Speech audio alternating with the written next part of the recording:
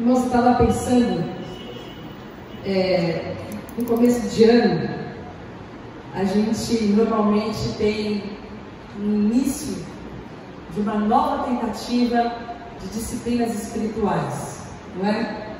Não sei quem começou um novo livro de devocional esse ano. Quem começou um novo livro de devocional esse ano? Normalmente as pessoas reiniciam Vou fazer uma pergunta mais difícil. Quem concluiu o livro de devocional do ano passado? Já é mais difícil, né? Porque todo ano a gente começa. Tem um livro famoso, Café com Meus Pais, acho que é esse o nome, que tem muita gente fazendo. Eu estou até afim de comprar esse livro, porque está todo mundo falando dele assim, eu posso falar do assunto que está todo mundo falando. Parece que é muito bom mesmo, é uma reflexão curta e abençoadora mas que tem pessoas como a minha mãe que faz o Glorify, acho que a Ana faz também. Tem todo mundo se cerca de alguma maneira de recursos que ajudam a gente a manter algum tipo de disciplina espiritual, de contato com Deus de uma forma regular, a gente manter esse relacionamento, relacionamento. Normalmente a gente faz isso como um projeto. Esse ano eu vou ler a Bíblia inteira. Quem nunca? Quem nunca fez esse propósito? Esse ano eu vou ler a Bíblia inteira. Esse ano eu vou me dedicar. Esse ano eu vou é, ter um tempo com Deus. E eu aproveitei esse, esse início, esse reinício, para falar um pouco sobre isso. Na verdade, foi eu pedi uma palavra para Deus no início é, dessa, dessa nossa conversa, e a palavra que o Espírito Santo trouxe no meu coração foi a palavra intimidade intimidade, que nós sabemos que apesar de nós termos boas intenções, e todos nós temos, vira e mexe nós fazemos novos propósitos com Deus, se nós não vigiarmos, uma das primeiras coisas que saem da nossa rotina, se é que a gente pode dizer assim, é esse tempo que nós temos com Deus. A gente tem várias desculpas, e também várias justificativas plausíveis para que esse tempo seja é, descartado. Eu costumo dizer que esse patrão é bonzinho. Então a gente tem outras urgências, outras emergências, e a gente vai deixando que esse tempo é, vá ficando de escanteio. E no meio de tantas, tantos objetivos, e planos e projetos e novas metas, eu queria incentivar você que comprou café com meus pais, ou você que baixou o novo aplicativo, ou você que comprou 365 dias com C.S. Lewis. Eu não sei se você adquiriu algum tipo de material, mas que você em algum momento pensou esse ano vai, que você possa é, guardar isso como um propósito bom, porque tem um livro do, do Carson é um livro que chama Chamado à Reforma Espiritual. E ele faz uma pergunta muito interessante. Ele faz a pergunta assim: qual é a necessidade mais urgente da igreja? E começa a fazer essa pergunta. E ele vai discorrendo sobre será que é a necessidade da pureza nos assuntos sexuais no mundo onde a gente vê sexo até em comercial de margarina? Um mundo que está tão dominado por uma cultura obcecada por sexo em todas as esquinas. Será que a necessidade de integridade, generosidade na área financeira, quando a gente vive uma adoração nua e crua por mamon, a coisa está tão ousada, está tão escandalosa, está tão difundida nos últimos anos, que as pessoas estão dispostas a fazer qualquer coisa desde que elas possam comprar mais. Elas sacrificam o que elas têm de mais precioso, que é o tempo. Perdem o que eles têm de mais precioso com seus filhos, com seus cônjuges, com a sua família, às vezes não tem, é, sacrificam seus valores por causa do dinheiro. Será que a necessidade mais urgente da igreja é evangelismo, é crescimento? Se a gente sabe que apenas 4% das pessoas que confessam a Jesus como Senhor permanecem firmes na igreja. 4% das pessoas que aceitam Jesus nas grandes cruzadas ou nas igrejas, 4%, uma estatística levantada recentemente, é que permanece. Será que a igreja precisa de novos cursos de teologia? novos cursos, novos teóricos, novos pensamentos bíblicos, erudição bíblica. Mas aí a gente vê que há um novo estudo que a maioria dos cursos faz com que esses estudiosos, a maioria deles também se afasta de Deus curso desses estudos. E ele vai fazendo perguntas e vai apresentando esses problemas que na verdade são sintomas. E ele apresenta então uma resposta, é um pensamento do Carson a, esse, a essa chamada para uma reforma espiritual. E ele fala que o problema o, que o homem e a igreja enfrenta é um conhecimento mais profundo de Deus. O que a igreja de Jesus precisa no mundo é conhecer, conhecer a Deus mais profundamente. É ter intimidade com Deus. Não é conhecer de ouvir falar, é de viver com Ele. Então eu gostaria de sugerir essa palavra intimidade. Eu não sei se você tem intimidade com alguém. Você vai lembrar de alguém que tem intimidade suficiente para entrar na sua casa, abrir essa geladeira e falar, pô, tá suja essa geladeira aqui, hein? Me dá umas vasilhas aí que eu vou ajudar você a dar uma limpada nisso aqui. Ou não tem nada nessa geladeira, só tem água, tá fazendo coleção de garrafa de água. Você tem intimidade com alguém suficiente que tem a chave da sua casa? Busca seus filhos no colégio para você? Intimidade com alguém que você pode abrir seu coração, você não tem medo de ser julgado? Sabe que a pessoa olha na sua cara e vê que você não está bem, então não adianta nem você dizer para a pessoa que está tudo bem, você é obrigado a falar o porquê que não está bem. Mas a gente sabe que a gente não junta numa mão as pessoas que de fato a gente é íntimo. Porque intimidade não é uma coisa fácil da gente conquistar.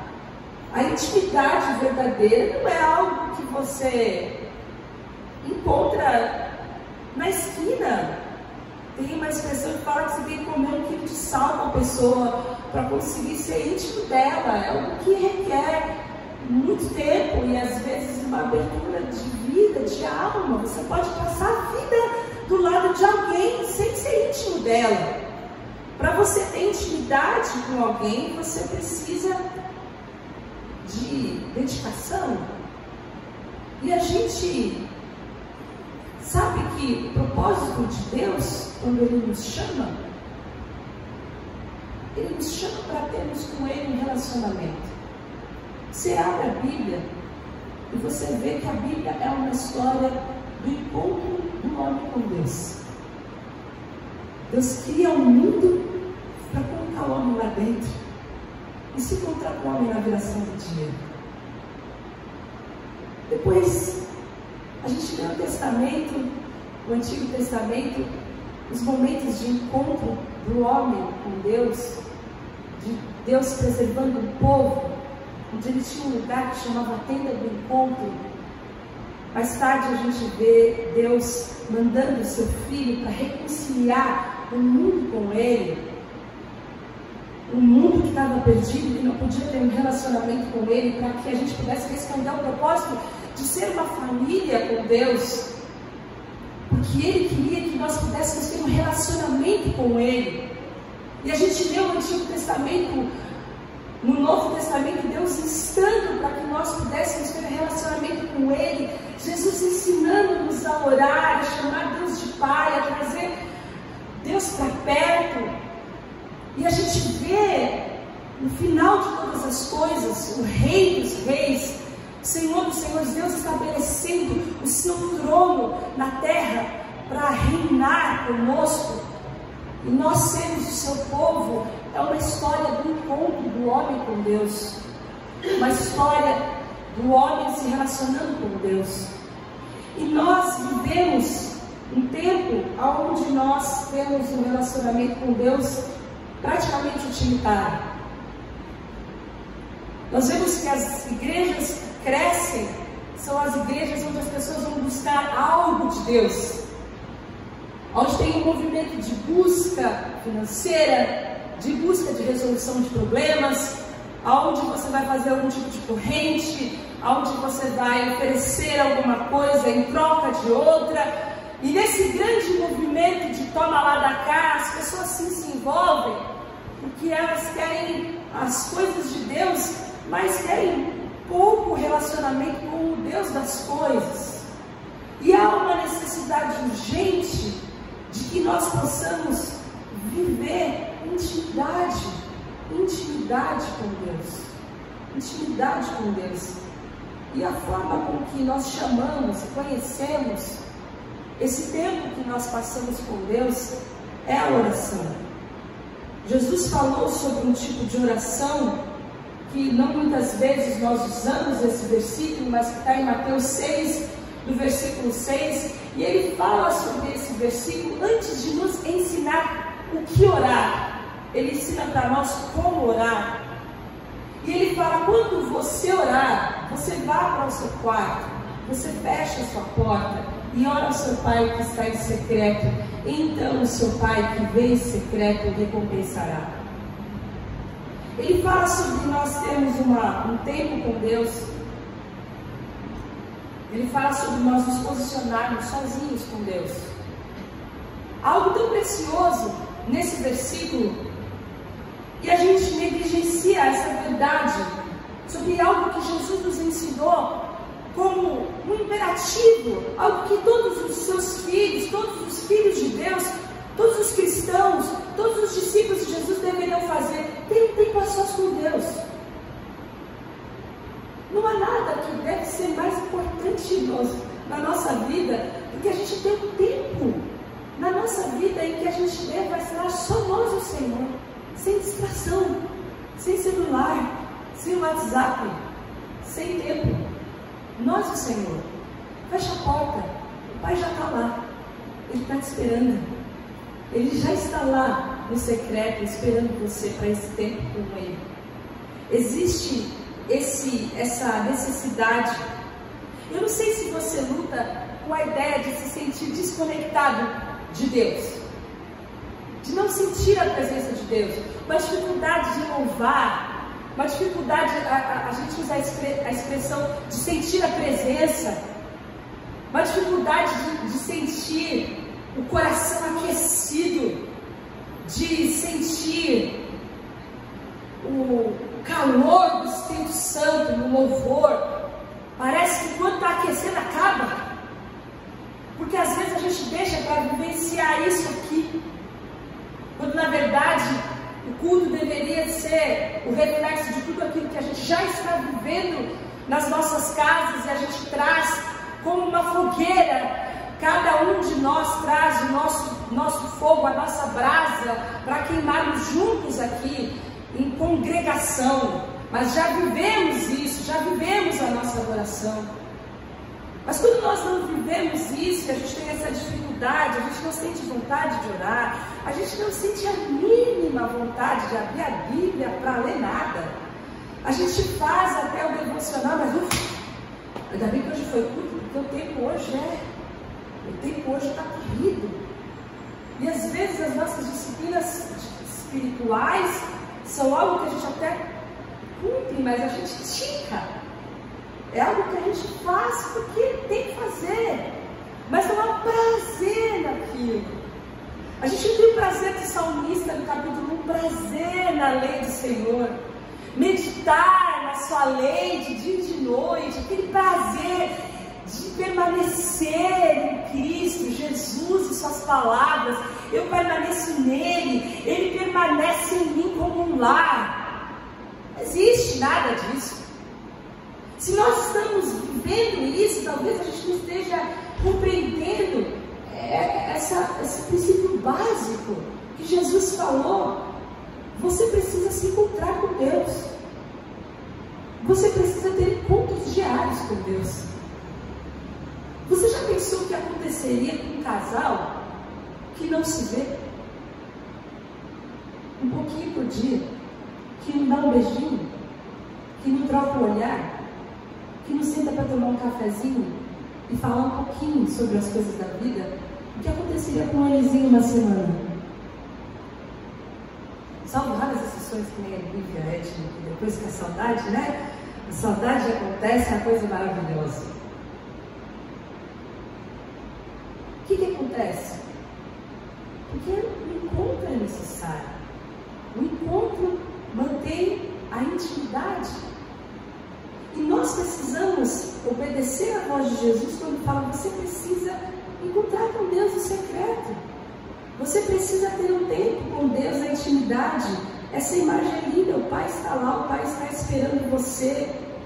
E quando nós queremos ser íntimos, a gente parte do pressuposto que a gente tem que abrir nosso coração, porque a pessoa não sabe de nada da gente, ou a gente vai ter que contar da nossa vida para outra pessoa, a gente vai ter que falar tudo o que está acontecendo, mas não é o caso de Deus, porque Ele já sabe tudo. As palavras ainda não vêm na nossa boca, Ele já conhece o nosso coração.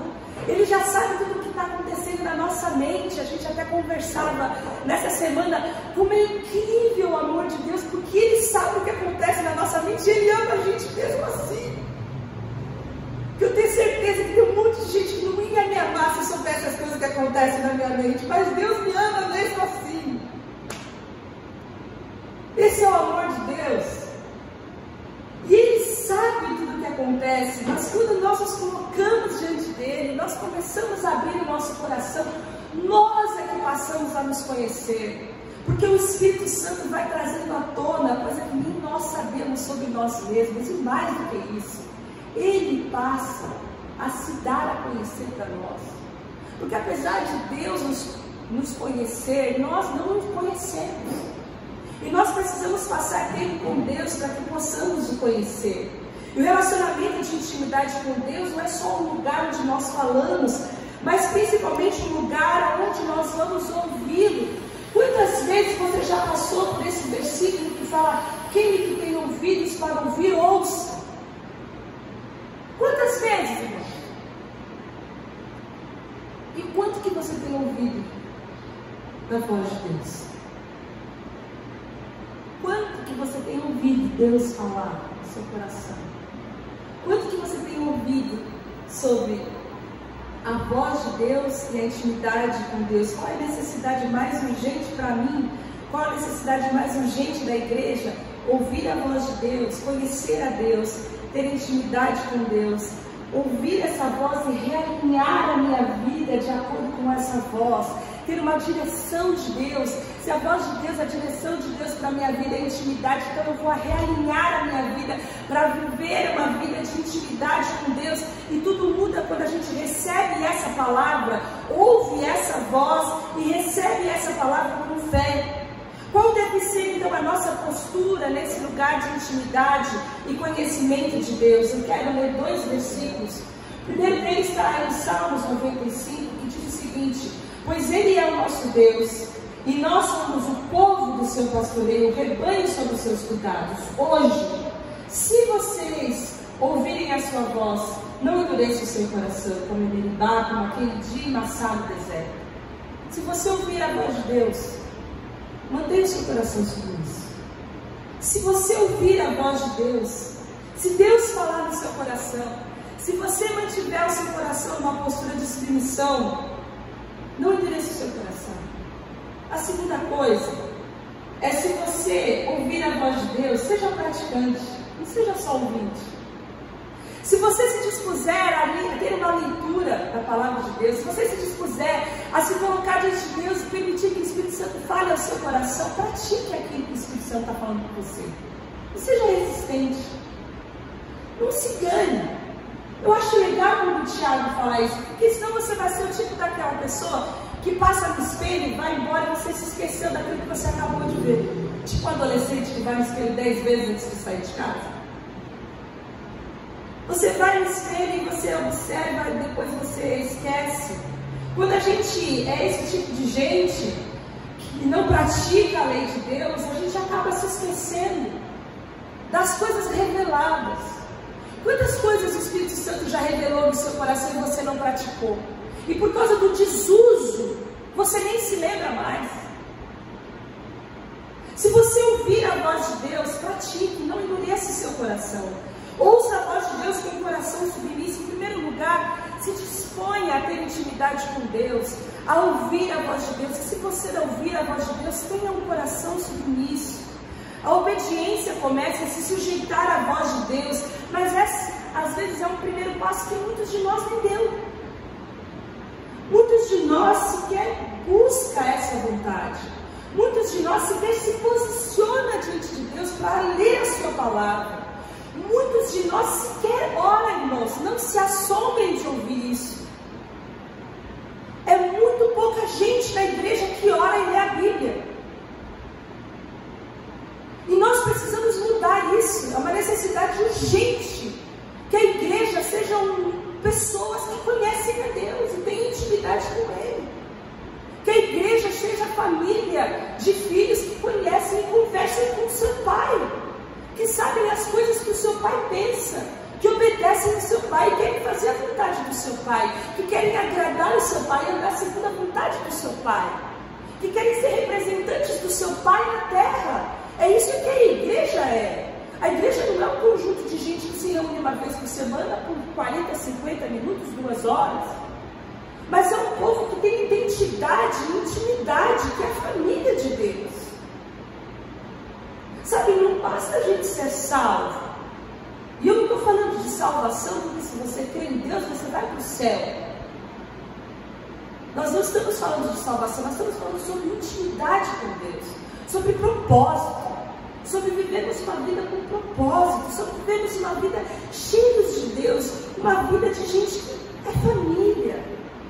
Jesus, num determinado momento, estava sentado com um monte de gente, e a sua mãe e seus irmãos chegaram, e aí perguntaram para ele: quem é minha mãe? Quem são meus irmãos? Jesus perguntou. Jesus olhou para aquelas pessoas que estavam sentadas aos seus pés, e ele falou: Olha, esses que estão sentados aos meus pés, esses que são a minha família. Ser família de Deus estar sentado aos seus pés. Vocês entendem isso, meus irmãos? Não é nomenclatura. Não é dizer eu sou cristão, eu sou da graça e paz. Ser cristão é estar sentado aos pés de Jesus. É estar no secreto. É ouvir a voz de Jesus e ter um coração submisso. Isso é ser cristão. É ter um coração sensível, é ter um coração submisso não ter um coração endurecido. É ter prazer ter prazer na lei do Senhor, ter prazer em viver a sua palavra.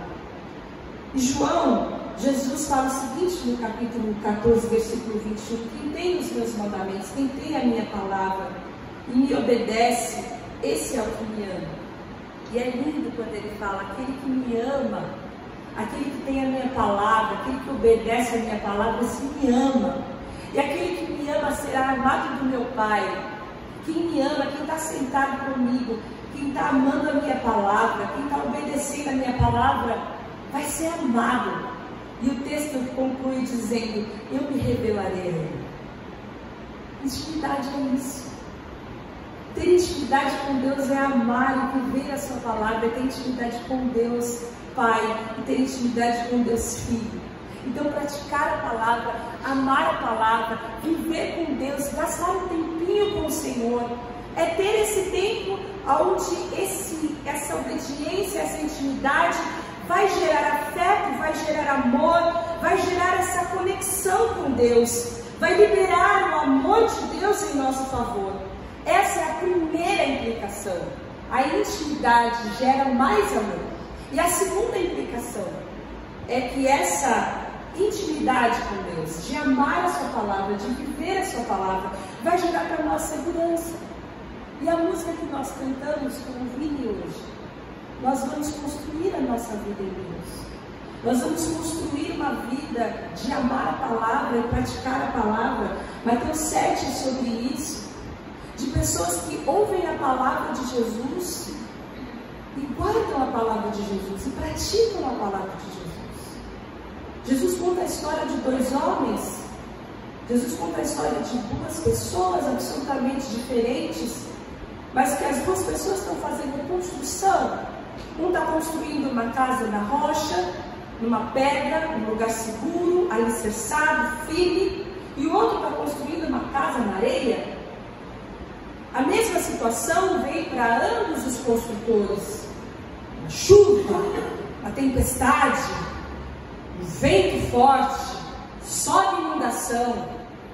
A casa que está no alicerce, a casa está firme na rocha, a casa não cai. A casa que está na areia toma um tombão. E a diferença desses dois caras é que um ouvia e praticava as palavras de Jesus, o que tinha a casa na rocha. Ele tinha tempo com Deus, ele tinha tempo no secreto, ele tinha um tempo de intimidade com Deus. Ele tinha uma vida que obedecia, ele não tinha pressa no devocional, ele amava, meditava na palavra do Senhor, ele vivia com Deus. E o outro era um tolo, um bobo. Ele ouvia também. Ele até tinha um livrinho lá, Café com Deus Pai, ele também ouvia, mas ele não obedecia. A grande questão é: a gente vai sobreviver? Porque bom seria agora se eu concluísse e dissesse assim: olha, se você fizer isso, você vai ter um ano de 2024 sem lutas, sem tempestades. Vai ser um 2024 de bonança. Não vai ter nenhuma luta na sua vida. Não vai ter problemas financeiros na sua casa. O seu casamento vai ser perfeito. Não é isso que a palavra fala. Não é isso. O texto, ao contrário, fala que as lutas com certeza vão vir. 2024 vai ter luta, vai ter tempestade, vai ter vento, vai ter inundação, vai ter chuva. Vai ter chuva para quem ouve e pratica, vai ter chuva para quem ouve e não pratica. A questão é, a gente vai sobreviver? A gente vai se manter firme? A gente vai aguentar tranco? A gente vai suportar? Nosso casamento vai aguentar isso? Nossa família vai aguentar? Nossos filhos vão aguentar? A gente aguenta as más notícias? notícia de desemprego, de diagnóstico ruim, a gente aguenta isso? Onde está firmada a nossa vida? Nós ouvimos sobre um Deus que muda, nós ouvimos onde nós devemos colocar a nossa confiança, e nós precisamos entender, irmãos, que a segurança da nossa vida está em Cristo Jesus.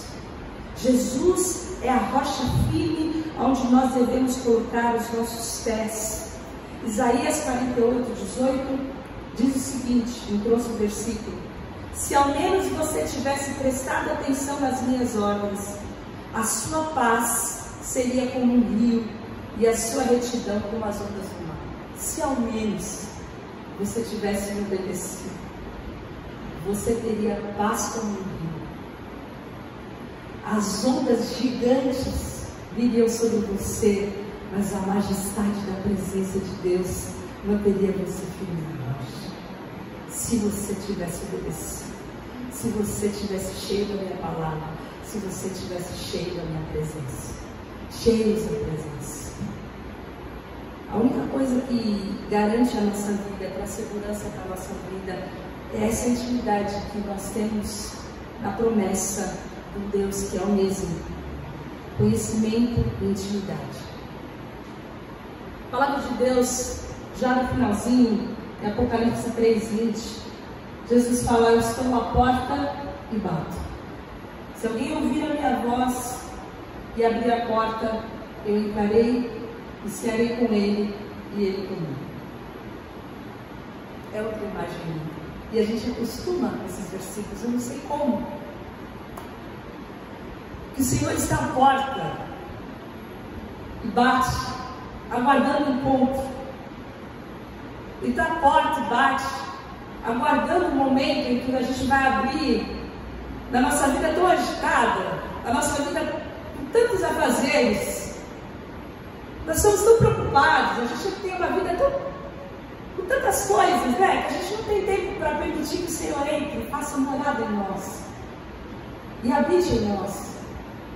João 15 fala que se nós permanecermos nele, ele permanecer em nós, olha que coisa linda, se nós formos, se nós estivermos nele lar, e nós formos o lar de Deus, permanecer, permanência, estar nele, ele em nós. Se nós abrirmos o nosso coração, ele está na porta, ele está na nossa esfera, ele está nos chamando à comunhão, ele está nos chamando, ele está nos chamando, e nós precisamos ouvir. Se alguém tem ouvidos para ouvir, irmão, ouça. Se você tem ouvidos para ouvir, ouça o chamado, porque ele está à porta. Se você tem ouvidos para ouvir, ouça a voz e abra a porta, para que o Senhor possa entrar, para que Ele possa habitar, para que a sua vida seja um lugar que ele possa morar, seja uma casa de oração, seja um lugar de amor, seja um lugar seguro, seja um lugar onde Deus pode habitar, onde Ele pode fazer morada. onde o Senhor tem a intimidade. E eu desejo que você possa crescer em intimidade com o Senhor desde 24 anos de Jesus. Que você possa desejar mais de Deus. Mais de Deus. Que o teto não seja um teto de bronze.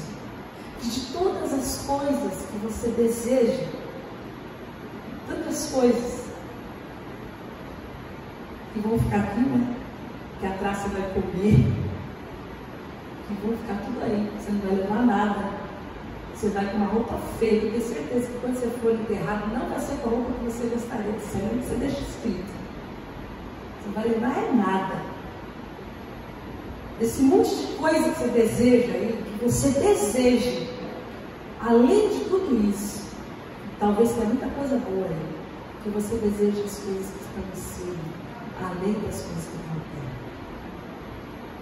Busque as coisas que estão em cima, busque as coisas que estão no alto, busque as coisas espirituais, busque as coisas eternas, busque as coisas que nem a traça vai poder corroer. Busque as coisas do Senhor, para que o seu coração seja um coração cheio de amor, porque Ele vai se revelar em amor e cheio de segurança. E nem as ondas do mar vão poder destruir, mas você vai ter a paz como a paz de um. É o que eu desejo para a minha vida e eu desejo para nós que essa necessidade urgente da igreja seja em primeiro lugar respondido por nós, que haja intimidade, haja profundidade nos nossos relacionamentos com o Senhor, que Ele se revele a todos e cada um de nós em nome de Jesus. Vamos orar. Senhor, nós colocamos o nosso coração diante de Ti, pedindo em primeiro lugar que o Senhor possa